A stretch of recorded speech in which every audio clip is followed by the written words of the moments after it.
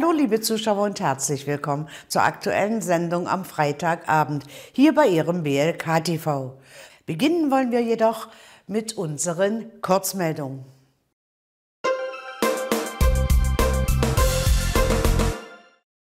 Aktuelle Verkehrsmeldung für den Burgenlandkreis.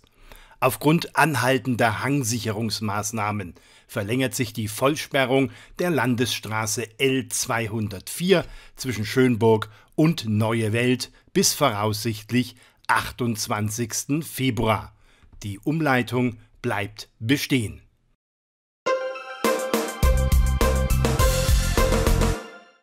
Aufruf zur Altmeisterehrung. Die Handwerkskammer Halle würdigt das Lebenswerk verdienter Handwerksmeisterinnen und Handwerksmeister. Für das 50-jährige Meisterjubiläum können Meister den goldenen Meisterbrief und für das 60-jährige den diamantenen Meisterbrief erhalten. Die Handwerkskammer ruft Unternehmen des Handwerks, Meisterinnen und Meister, Familienangehörige, Freunde und Bekannte sowie die Handwerksorganisationen im Kammerbezirk auf, Vorschläge für zu ehrende Handwerksmeisterinnen und Meister zu übermitteln. Gesucht werden Meister, die 1971 bzw. 1961 die Meisterprüfung abgelegt haben.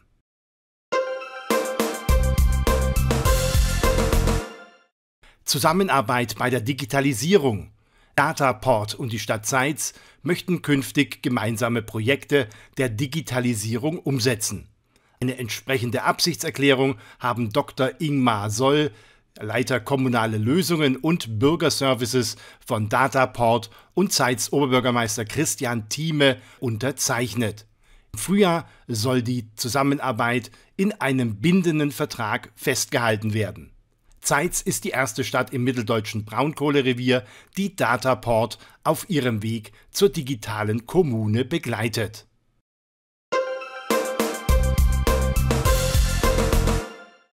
große Summe gespendet. Eine Spende von 4.500 Euro haben Mitarbeiter der AOK Sachsen-Anhalt an den Hospiz- und Palliativverband Sachsen-Anhalt e.V. übergeben. Die Summe stammt aus einer Spendenaktion innerhalb der Belegschaft der Krankenkasse. Das Geld kommt jetzt dem Hospiz- und Palliativverband Sachsen-Anhalt e.V. zugute. Dieser kümmert sich seit vielen Jahren um Patienten und deren Angehörige, die mit einer lebensbedrohlichen Erkrankung konfrontiert sind.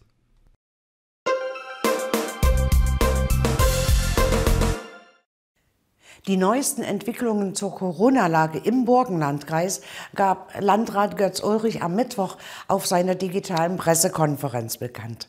Wir haben das Wichtigste daraus zusammengestellt.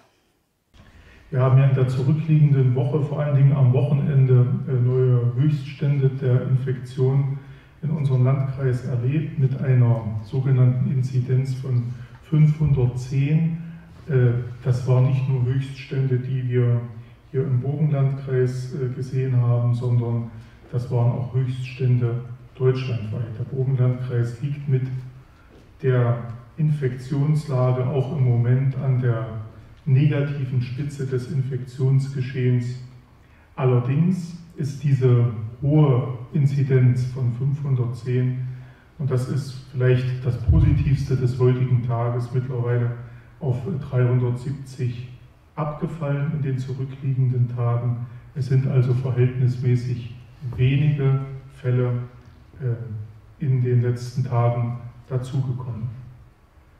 Sehr, sehr traurig ist äh, weiter die Entwicklung äh, bei den Verstorbenen. Wenn ich die Verstorbenen des heutigen Tages mit einbeziehe, so haben wir im Moment äh, 71 weitere Tote zu beklagen und das sind dann 273 Todesfälle, die hier im Burgenlandkreis im Zusammenhang mit Covid standen und stehen. Das heißt also, das äh, Virus grassiert hier in Mitteldeutschland, äh, ganz besonders im Burgenlandkreis. Äh, und wenn ich mir die Karte, die gestern das Robert Koch Institut veröffentlicht hat, anschaue und mir anschaue, wer hier auf dieser negativen Hitliste ganz vorn steht, dann müssen wir feststellen, dass neben dem Burgenlandkreis unter den ersten 15 Stadt- und Landkreisen in Deutschland sich eben auch unsere Nachbarn befinden, das Altenburger Land, das Land, der Landkreis Weimarer Land, der Landkreis Leipzig und äh, Nachbarn im weiteren Sinne, äh, der Landkreis Anhalt-Bitterfeld, der, äh, der Landkreis Saalfeld-Rudolstadt und der Landkreis Saale-Orla-Kreis. Das heißt, das Virus grassiert mittlerweile nicht mehr in Ostsachsen, sondern hier im mitteldeutschen Raum und wir hier im Burgenlandkreis, wir befinden uns sozusagen im Auge des Tornados. Was waren unsere wichtigsten Maßnahmen, äh, die wir der, am Ende der letzten Woche in Angriff genommen haben? Äh, auf diese möchte ich noch einmal eingehen. Das erste war, äh, dass wir Ausgangsbeschränkungen verhangen haben. Das hat uns viel Kritik und auch manche Unverständnis aus der Bevölkerung eingebracht.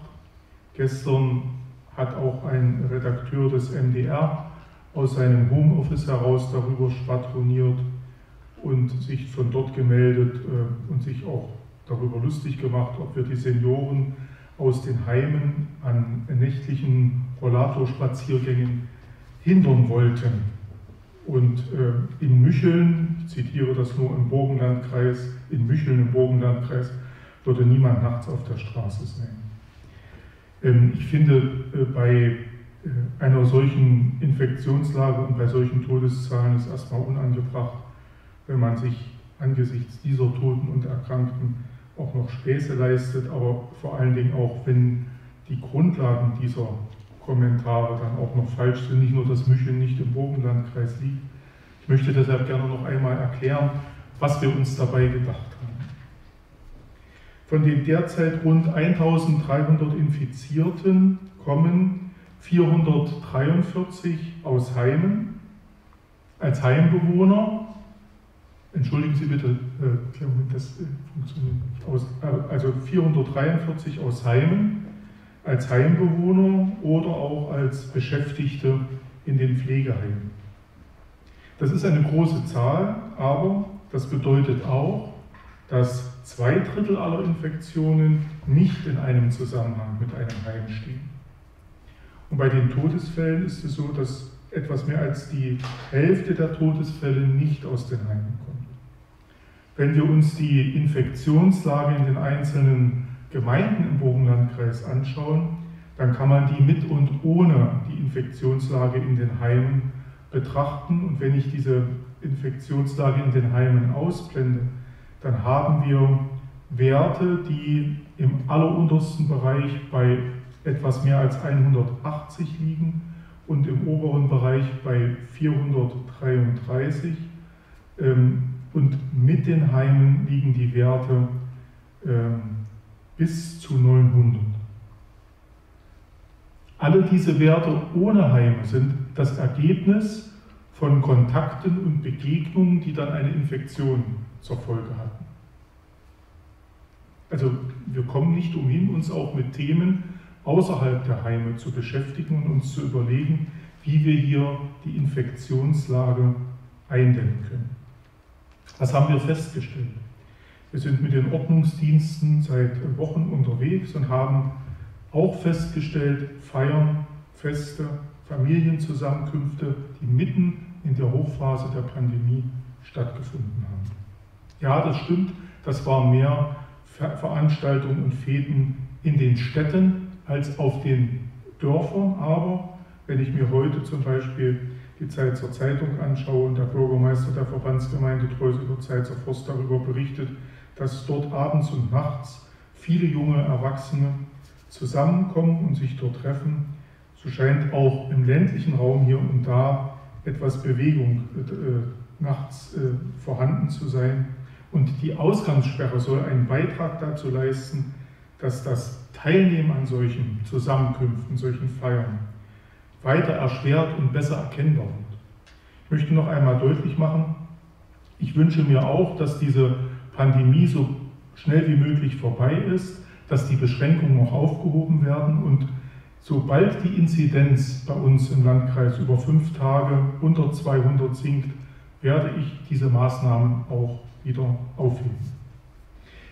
Neben dem Thema Ausgangsbeschränkung, das ja auch wirklich heiß umstritten ist und wo ich auch verstehe, wenn man da darüber diskutiert, haben wir eine zweite Maßnahme, die seit heute in Kraft ist und die auf eine breite Zustimmung in der Bevölkerung stößt. Das sind Schutzmaßnahmen an den, in den, vor den Supermärkten. Es geht also darum, dieses äh, zwingend notwendige Begegnen in den Supermärkten, weil wir ja alle einkaufen müssen, dadurch äh, ungefährlicher zu machen, dass an den Eingängen der Supermärkte Personen stehen, die stärker darauf Wert legen und darüber wachen, dass die Menschen mit einer medizinischen Maske den Supermarkt betreten und diese auch richtig aufziehen.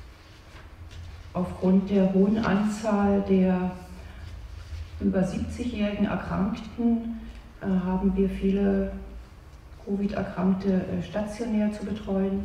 Das sind aktuell in unserem Landkreis 116 Patienten, die einer stationären Behandlung bedürfen. Davon befinden sich 16 Covid-Patienten im Weißenfelser Krankenhaus, 53 Covid-Patienten im Naumburger Krankenhaus und derzeit 36 äh, Patienten im Waldklinikum Gera befinden sich 11 äh, Erkrankte in stationärer Behandlung, die in unserem Landkreis wohnhaft sind.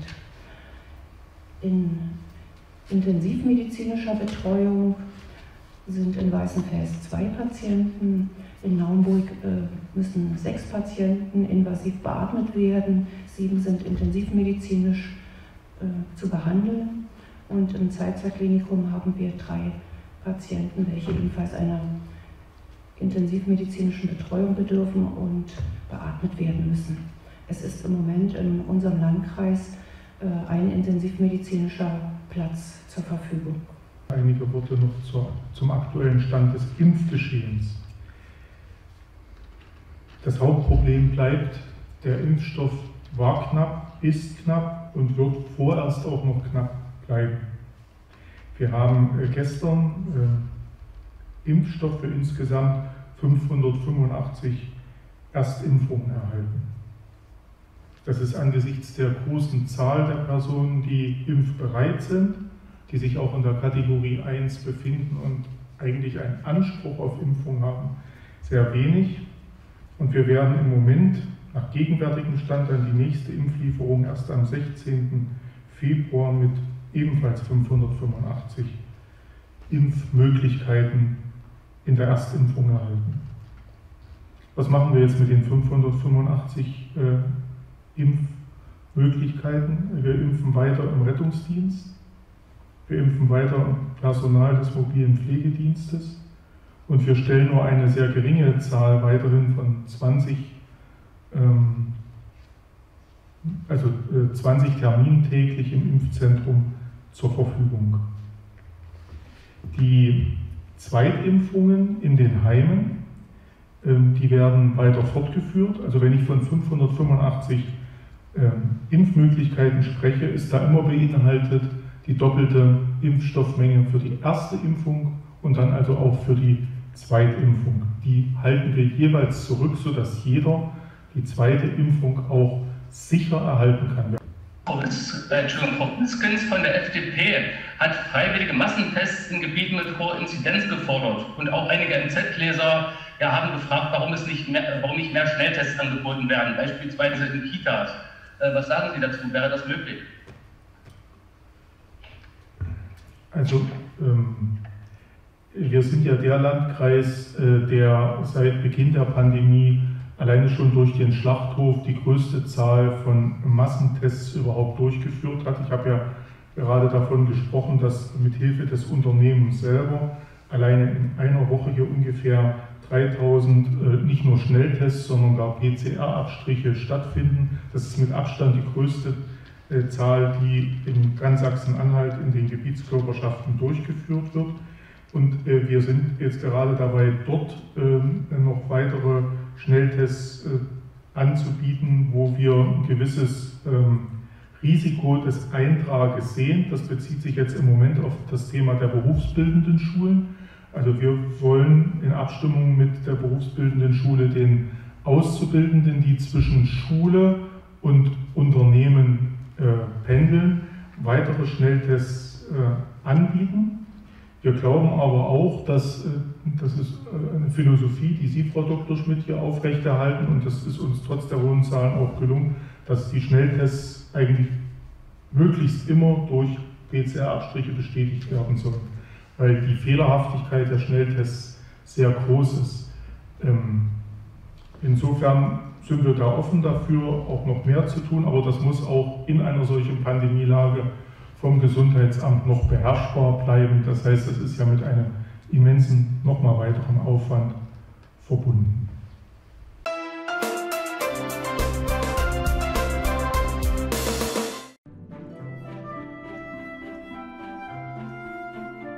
Hey Schnucki, was machst denn du? Ich schaue Angebote durch. Ich habe da eine Idee, komm mal mit. Ah, warte, warte, warte, ich brauche Nee, noch meine. Angebote. Machen auch Sie Schluss mit lästigem Prospektewälzen. Im E-Center Hinze bekommen Sie immer alles frisch, günstig und von vielen regionalen Erzeugern. Wie zum Beispiel Obst und Gemüse, Lebensmittel, Freiburger Weine und Naumburger Bier. Entscheiden auch Sie sich bewusst fürs Einkaufen und Genießen in Ihrer Heimat. Wir lieben Lebensmittel und freuen uns auf Ihren Besuch. Ihr E-Center Hinze in Naumburg.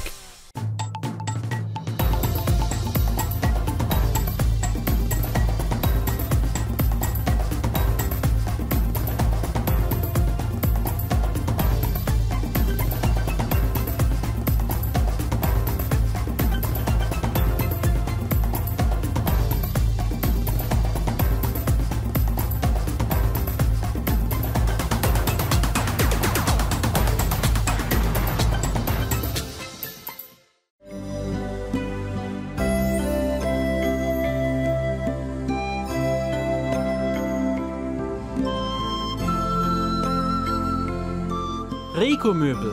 Wir bringen Farbe in Ihr Leben. Moin Großer, alles Gute zum 18.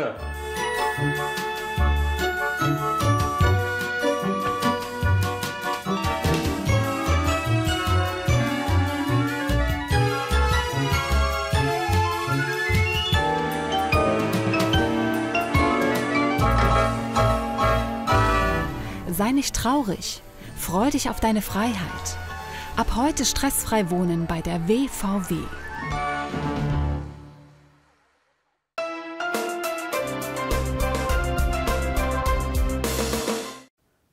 Was man unter einer außergewöhnlichen Hausordnung versteht und wie diese aussieht, das zeigen wir Ihnen in unserem nächsten Beitrag. Denn die Zeiser Wohnungsbaugesellschaft hat einen Film unter dem Thema Die Hausordnung produzieren lassen. Grit, die WBG hat sich was einfallen lassen. Ähm, genauer gesagt, ein Film. Jetzt möchte ich von dir mal wissen, wie ist es dazu gekommen? Warum habt ihr euch das, äh, warum ist euch das in den Sinn gekommen, sowas äh, ja, produzieren zu lassen? Ja, die Idee ist daraus entstanden, weil es in Deutschland leider 8 Millionen Analphabeten existieren, beziehungsweise inklusive ähm, Leserechtschreibstörungen.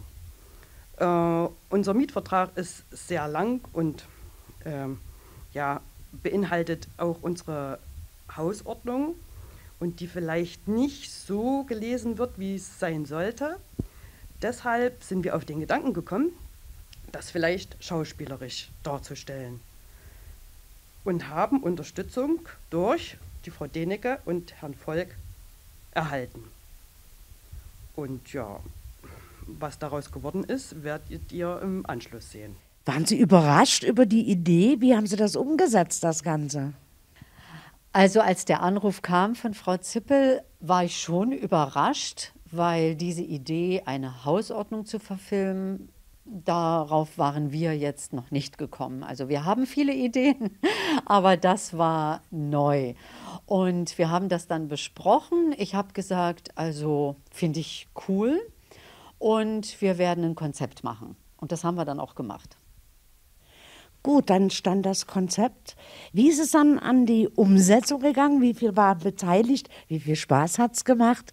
Ja, und das Endprodukt, ja, das schauen wir uns ja danach gemeinsam an. Ja, also wir haben ein Amateur-Theaterensemble, Mut, Musiktheater. Und äh, ich dachte also, das wäre was für diese tolle Gruppe. Und habe die Gruppe gefragt und ein Dreiviertelteil der Gruppe hat gesagt, ja, ich mache mit. Also war freiwillig, normalerweise machen wir Musical. Und dann waren das so viele Teilnehmer, dass wir gesagt haben, gut, dann müssen wir auch ein paar äh, größere Szenen machen, auch wenn es kleine äh, Sequenzen sind.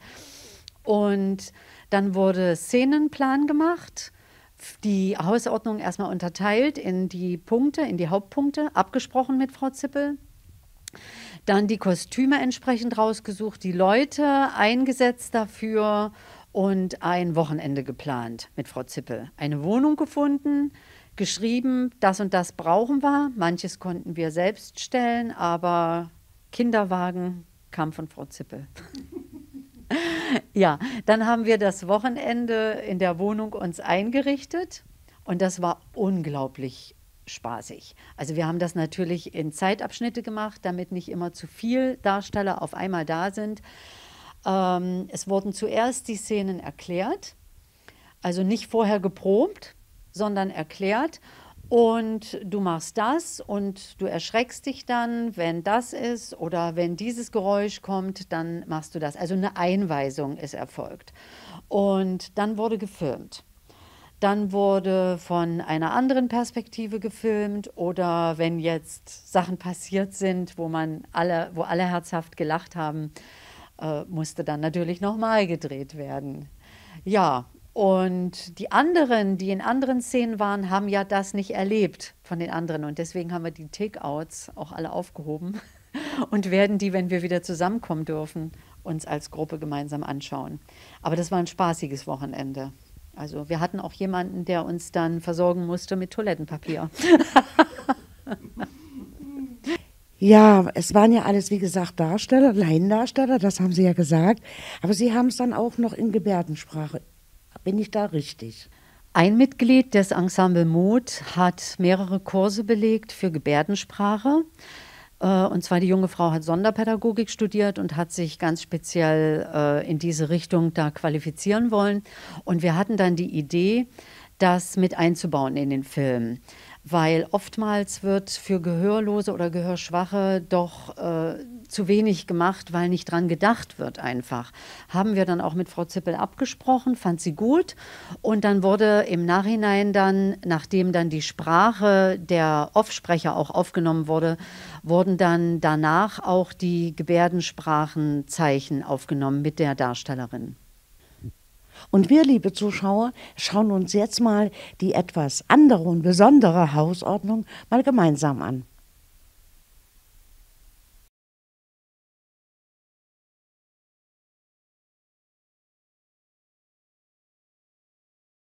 Ruhezeiten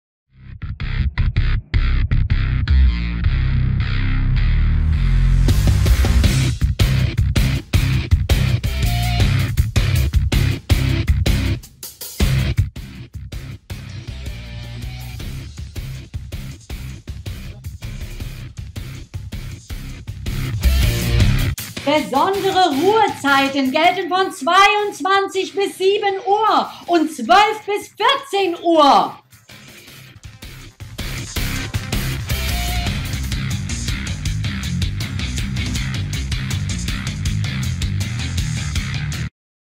Feierlichkeiten sollten den anderen Hausbewohnern vorher angezeigt werden. Auch wenn die Uhrzeit passt, muss man es ja nicht übertreiben. Partys bei Zimmerlautstärke bringen vielleicht ganz neue Freundschaften hervor. Offenes Feuer und Rauchen. Wenn Sie es für eine gute Idee halten, Ihre Zigarette schon im Treppenhaus anzuzünden, um wertvolle Zeit zu sparen, dann vergessen Sie es. Im Treppenhaus, Keller und auf dem Boden sind Feuer und Rauchen verboten. Gehen Sie dafür bitte nach draußen. Hundehaltung Ach ja, unsere Haustiere verschönern unser Leben. Gemeinsame Spaziergänge, Spiele, Streicheleinheiten und ja, auch sowas passiert.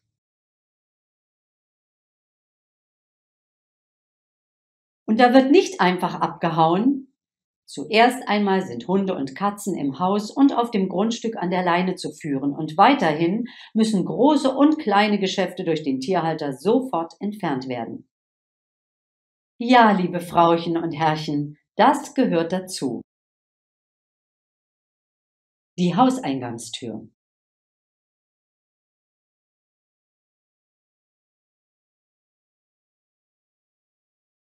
Manchmal ist es schon schwer, die Haustür überhaupt aufzubekommen. Da hat man gar keine Lust, sie zu schließen, stimmt's? Tja, egal.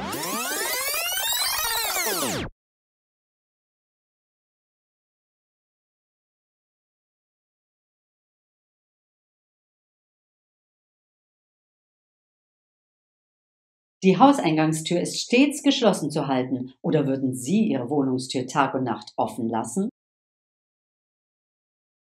Abstellen von Gegenständen im Hausflur.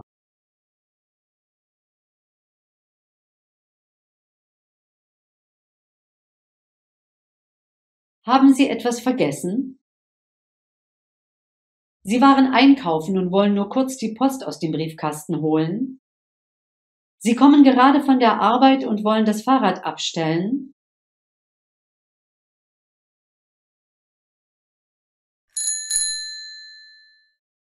Dann nutzen Sie doch bitte die dafür geeigneten Orte, denn das dauerhafte Abstellen von Fahrrädern, Rollstühlen, Kinderwagen oder ähnlichem ist im Hausflur nicht erlaubt.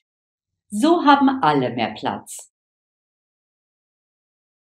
Müllentsorgung und Mülltrennung. So viel unterschiedlicher Müll.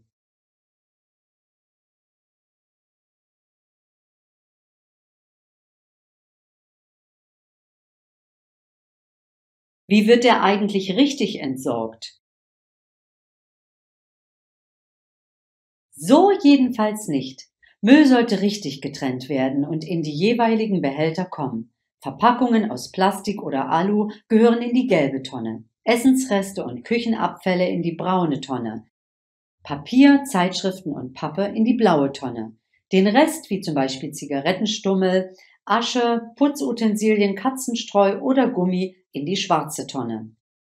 Genau so. Perfekt.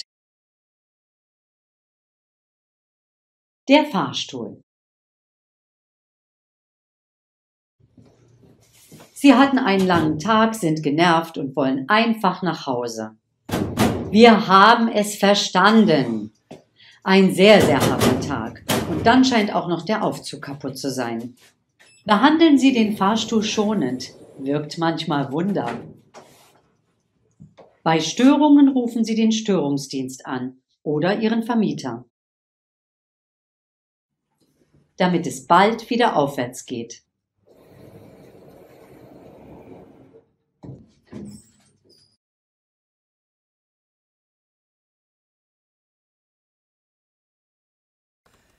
Am Mittwoch wurde in ganz Deutschland den Opfern des Nationalsozialismus gedacht. Landrat Götz Ulrich besuchte die Gedenkstätte in Remsdorf. Liebe Einwohnerinnen und Einwohner des Burgenlandkreises, meine sehr geehrten Damen und Herren, am 27. Januar gedenken wir in ganz Deutschland der Opfer des Nationalsozialismus. Denn vor nunmehr 76 Jahren wurde an diesem Tag das Vernichtungslager Auschwitz befreit. Ich stehe hier, wie in jedem Jahr, an der Erinnerungsstätte für das sogenannte Lager Wille, hier in Remsdorf, ein Außenlager des KZs Buchenwald. Allerdings bin ich zum ersten Mal allein hier. Es ist ein stilles Gedenken in diesem Jahr. Das bietet mir die Möglichkeit, innezuhalten und nachzudenken. Hier vor den Haustüren unserer Großväter und Großmütter sind schreckliche Gräueltaten geschehen. Im Außenlager Wille wurden insgesamt 5871 Menschen ermordet oder durch schwere Arbeit zu Tode gebracht. Das Grauen fand inmitten des heutigen Burgenlandkreises statt. Das Außenlager Wille hier in Remsdorf, wie auch das Außenlager Burggraf bei Bilroda im westlichen Zipfel des Burgenlandkreises, stehen stellvertretend für 980 Konzentrationslager und ihre Außenstandorte, für 1150 jüdische Ghettos und 1000 Kriegsgefangenenlager. Dazu kamen unzählige andere Stätten, um Gefangene zu germanisieren, Frauen zu Abtreibungen zu zwingen, psychisch Kranke zu ermorden und Häftlinge für den Transport in die Todeslager zu sammeln. Insgesamt sind mehr als 15 Millionen Menschen Opfer dieser Maschinerie geworden, darunter 6 Millionen Juden. Das sind Zahlen, die sind so groß und so unvorstellbar, dass sich alles in uns sträubt, das zu glauben. Und dennoch, wir müssen uns dieser Erinnerung stellen und uns bewusst machen, was die deutsche NS-Diktatur angerichtet hat. Die Lage in Deutschland heute ist zum Glück eine andere. Wir leben in einem demokratischen Rechtsstaat mit Grundfreiheiten und anderen Grundrechten. Im Moment können wir diese uns so gewohnten Freiheiten nicht so ausleben, wie wir das kennen. Ich verstehe, wenn das einigen schwerfällt, wenn sich einige dagegen wenden, demonstrieren und laut ihrer Meinung sagen. Dass wir das tun können, ist gerade Ausdruck unserer freiheitlich-demokratischen Grundordnung. Mein Verständnis endet dort, wo einige von einer Corona-Diktatur sprechen. Solche Vergleiche verhöhnen die Opfer des Nationalsozialismus, auch die Opfer in Remsdorf. Die Rede von einer Corona-Diktatur zeigt, wie wenig vorstellbar für die heutigen Generationen die Gefahren für das eigene Leben in einer Diktatur sind. Für Versammlungen und für freie Meinungsäußerung muss heute niemand mehr sein Leben riskieren. Umso wichtiger ist es, dass wir an alle NS-Opfer erinnern, die Täter und die Taten immer wieder benennen. Wir wissen, so etwas darf sich nicht wiederholen, aber so etwas kann sich wiederholen, wenn wir nicht wachsam sind. Die Erinnerung aufrecht zu erhalten, ist ein wichtiger Teil dieser Wachsamkeit. Erinnerungsorte wie hier in Remsdorf helfen uns dabei, das zu verstehen. Und damit, liebe Zuschauer, sind wir wieder am Ende unserer Sendung angelangt. Ich wünsche Ihnen jetzt erst einmal ein schönes Wochenende. Ja, kommenden Dienstag sind wir wieder mit aktuellen Themen aus dem Burgenlandkreis für Sie da. Weitere Nachrichten, die finden Sie bis dahin auf www.blkregional.de. TV oder Sie besuchen uns ganz einfach bei Facebook. Also dann ein schönes Wochenende. Machen Sie es gut. Tschüss und auf Wiedersehen.